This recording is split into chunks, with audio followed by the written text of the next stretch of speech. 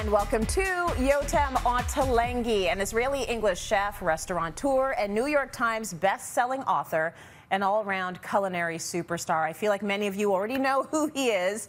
We are so happy to have Yotam joining us from London, England to talk about his new cookbook. Here it is, everyone flavor and to prep one of the very flavorful dishes in this book. And let me tell you, over 100 plant-based recipes in this cookbook, which is amazing. Now, you have been called the vegetable champion, the one that is getting the British to love their veggies. I would love for you to get my kids to love their veggies now. Please bring some of that to my house.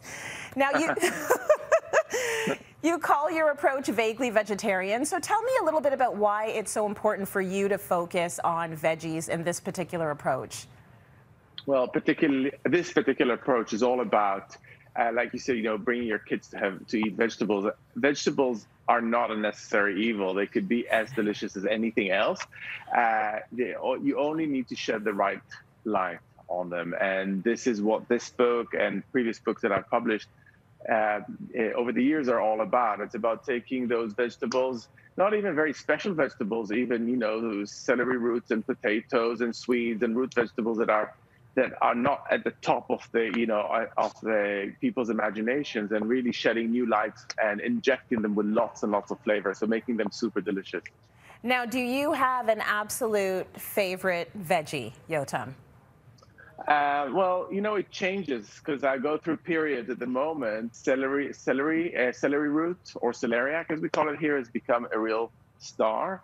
And in this book, it's a really, it's a very simple vegetable to cook, and you get lots of flavor, caramelization, slow cooking, uh, lots of sweetness. It's a wonderful vegetable for those who are afraid of their root vegetables. Now, you break down the recipes into three key elements process, pairing, and produce. Can you explain each of those elements for our viewers? So some recipes are about processes. Uh, talking about that celery root, it's about the slow cooking and the conversions, uh, conver uh, converting of starches into sugars. So you get something really flavorsome with a lot of drama and a lot of layers of flavor. That's a process that happens when you cook it. Uh, pairings are particular flavor profiles that you pair with a vegetable, whether it's uh, sweetness or acidity or heat that comes from a chili. And then there's particular produce, that's the third P, uh, things like mushrooms, like, like nuts, like onions that are so powerful and so intense in flavor that they could flavor a whole dish uh, with their own uh, might. So those are the three big categories. But then underneath hide all the wonderful vegetables and all the, the, the interesting ways in which we inject them with lots and lots of flavor.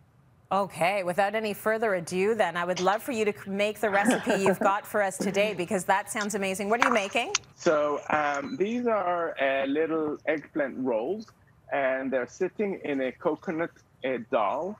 Uh, so, it's a, it's a relatively simple dal to make. It's got uh, red lentils, uh, curry leaves, curry powder, a few more spices uh, like cumin and turmeric, ginger onion. It just cooks into this wonderful dal, uh, and that's the base. Uh, the aubergines or the eggplants are just sliced very thinly, and then I roll them with some paneer, and you can also use tofu if you like, if you want to keep the dish completely vegan. Mm. Um, a spinach leaf and some hot mango pickle. Uh, those sit here, and you can see it just before I'm going to finish it off. And what I've done here, I've taken something really simple, that which is uh, some olive oil, and I fried some chili and curry leaves in it. Uh, if you can't get the curry leaves, you can just use the chili. And then I'm going to finish uh, the dish off by literally just spooning all that beauty, uh, beautiful um, aromatics, the chili, the curry leaves, and then the oil that's uh, that's has been absorbing their flavor over the the eggplants or aubergines.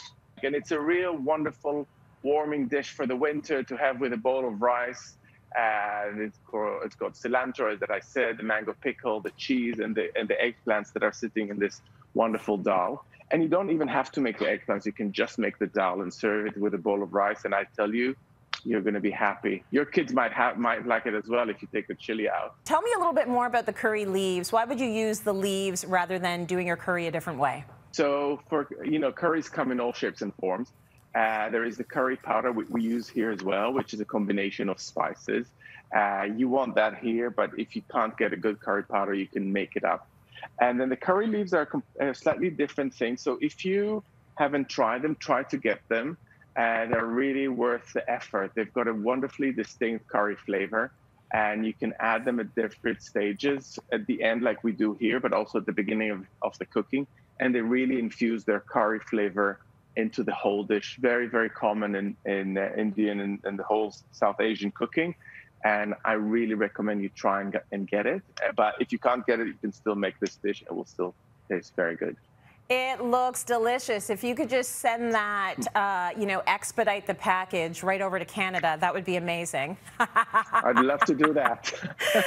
Thank you so much. Uh, that is Yotam Ottolenghi, and his new cookbook flavor is out.